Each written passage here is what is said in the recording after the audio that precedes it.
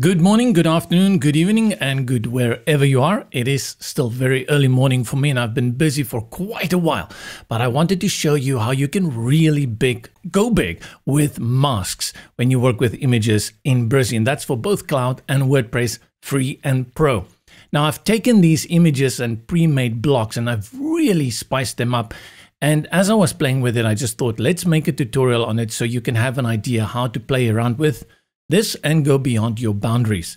Nice little shape here. These are all custom shapes and you may have already played with the mask feature and the image element, but I want to show you how to go outside that and do the custom stuff and where you can get unlimited inspiration. Look here, I took the South African flag, which is, I'm from South Africa, and I turned it into this image mask. I don't think it's perfect for this one, but I can see a lot of application for travel sites, travel blogs, um, look at this one, very artistic, takes this ballerina to a new level, really complements also the shape and direction she is looking at.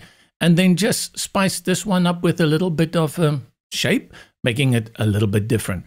All of these four blocks are actually pre-made blocks from the kit one in the block library. And I'm going to show you now how we're going to do this and where you can get these shapes and how you can work with SVG, PNG, and also upscale them. I made this in Brizy Cloud, but to show love for all the different various platforms we have, I'll go into Brizy WordPress to replicate or at least try and get as close to that as possible. Let's begin by start building our page and from the blocks, I'm going to stick to kit one because that's where I found those. And let's just go into the cover section. I found one here. What you're looking for is a very prominent image. Let's go to features something on the left or right, like this one that I had found earlier. So let's start with this one. Click on the image and you will find the mask section here from the image options all the way to the right. And if you select the drop down, you will see there is quite a number of masks in here. And they are pretty good masks. I would say these are standard masks. You can filter through them and you will see that this is very typical masks that you're going to get on sites like this little brush one thing you have to remember is the setting. This is a fill which is going to take the mask and stretch it all the way to the container, which is usually your column. It will stretch top, right, bottom, and left to fit in. So there will be no padding, if you want to call it padding, around it. Let me explain to you what I mean. Let's take this diamond and the top part and the bottom part is cut off because if I put it on fit, it's going to look the way you envisioned it. But with the fill option, this white space here on the left and the right, it stretches it. Where, where am I now? Fill. It stretches it to fill the container. That does work in many cases, and I've a few times put it on fill instead of fit. But if the shape needs to look perfect, you need to put it on fit. And then from here, you can go ahead and play through these shapes. Really nice. It just adds that little bit of design element. Again, I always will say this with things like this. Don't go overboard. Really think about when you use it and then go to custom. Let's go to shape, scroll all the way to the bottom and select custom. Next to the image, you will see there's a little help tag that says upload only PNG or SVG. So let's walk through this and I'll give you some good pro tips here that you have to keep in mind. Open a new tab and what I do is I look for the nounproject.com. Came across them many years ago and I sign up. I think they've got a really good deal. They've got free stuff that you can use, but then also premium service. Now you'll see there's over 5 million icons. I really like using their icons. I try to stay away from the set icons that you usually get within the templates. I come here and look for something just a little bit different. Let's go and search for something and I'm going to type in shape as simple as that. And let's start there and see what they give us. And you're going to see immediately some of those shapes that we actually like this one here to start with is actually already within the Brizy mask included. So no need to go and download that. But as we scroll down, you're going to see, whoa, there's a lot to choose from here. So let's start with the first pro tip. And that is you need to look for a shape that is filled. That means black. This is how it will display on the noun project. If you look at this one that has an outline, you don't want to choose this. And I'm going to show you why you don't want to choose that. So let's look at two, these two that are very, very similar. I will control click on this one to open it in a new tab. And you have the option to download as a SVG or a PNG. Let's start with PNG. And I think it's at 512 pixels, which is fine. And we go back into Brizy. And then here where it says your mask, let's click on that. And let me just grab it and drag it into my media library. And it goes selected and in no time it's going to turn it into a mask. That's really powerful and beautiful. I really like it. So PNG works really well. And what you can see here is that even though it is set to fit, it doesn't stretch all the way to the top and to the left. And that is because within this PNG, there is probably some spacing between the border and the image. What you can do in this case is you can go to the size, you put it on fill, you'll see it still doesn't stretch, and then you put it on custom. And then from custom, you grab this slider and you can drag it up. Let's put it on pixels, drag it up, up, up, up, up, and we can go beyond that. Let's look at something like 750, see what happens. Yes, you can make it fit to the way you want it to fit.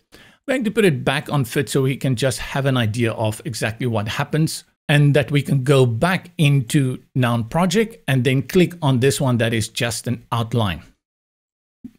If you work a lot with images or with these kind of vector images, you understand why you're not going to use it because the mask is only applied to the black areas, which means if I download this PNG and we hop back into Brizy, let's go to the mask, delete this one, upload the new one.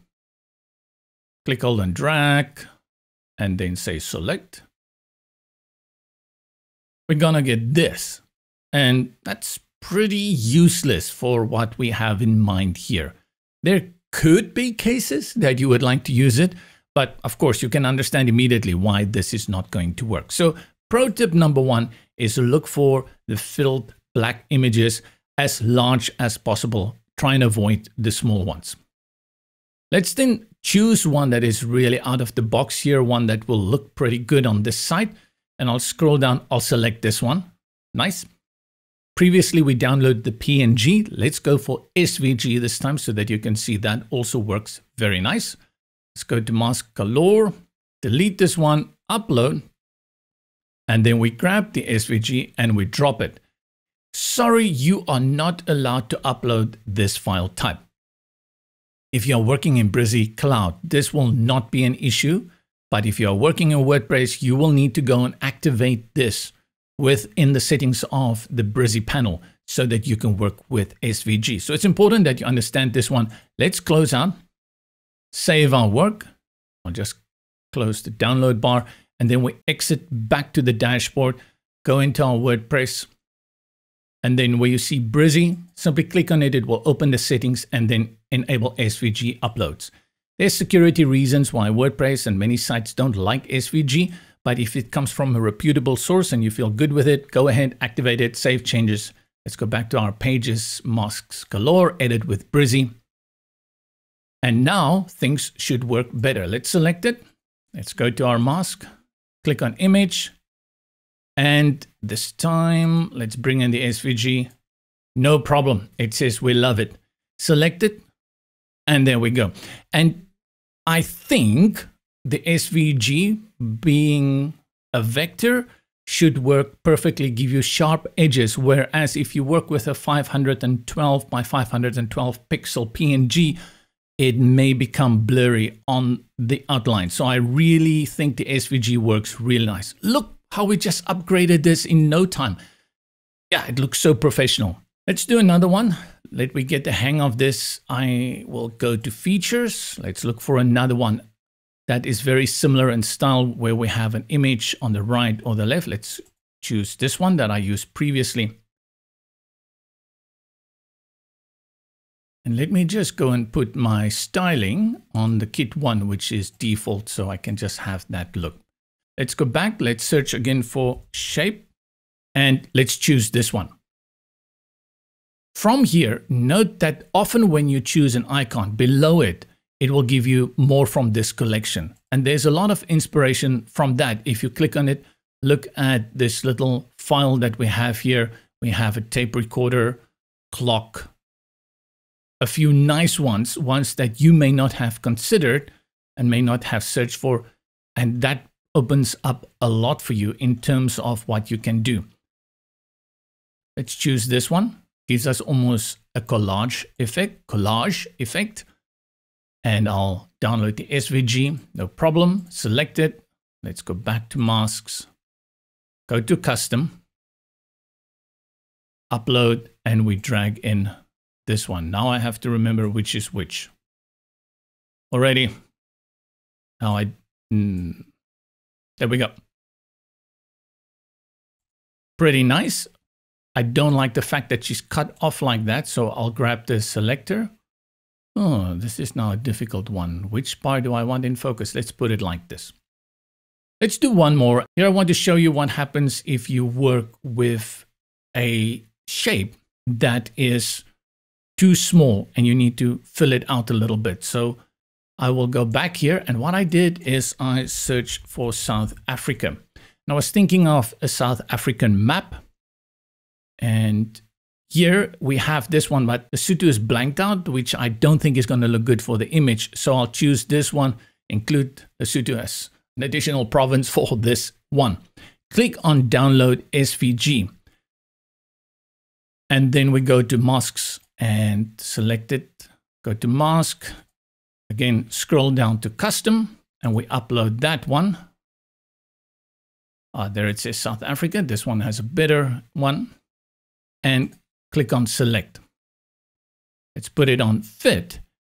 And now I feel that I need to make it a little bit bigger. You see, we've got the space again at the top and the bottom, and I would really like it to fill out the image more. To do that, you go back to the mask, click on custom, and this is where I showed you earlier how you can increase this now and drag it to the size you want.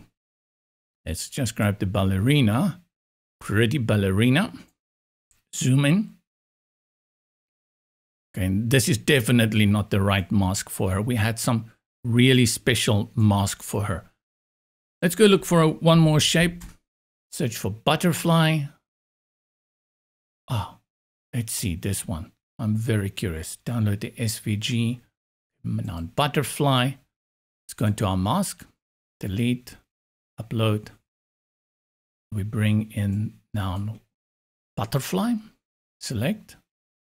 Oh, that works, right? Just look how that works. And of course, play around a little bit again with the selector.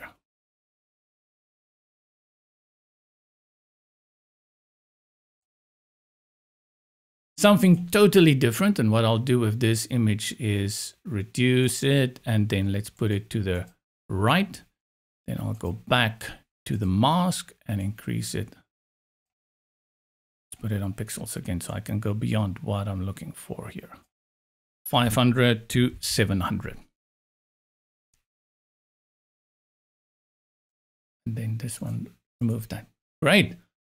Something completely different using the mask feature together with Noun Project. You can come up with so many variants and ideas. Just spice up your website design a little bit in no time.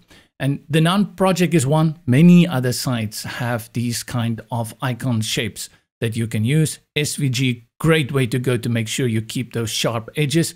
PNG also works great. And where this can be really nice, if you have brand logo that is a filled logo, then this is also a great way to do that and bring it in and add a little bit of extra corporate identity to the images in the site. Don't overdo it. I cannot underscore that more enough. Hope this was something interesting and helpful. I'll see you around from me, JP. Until next time.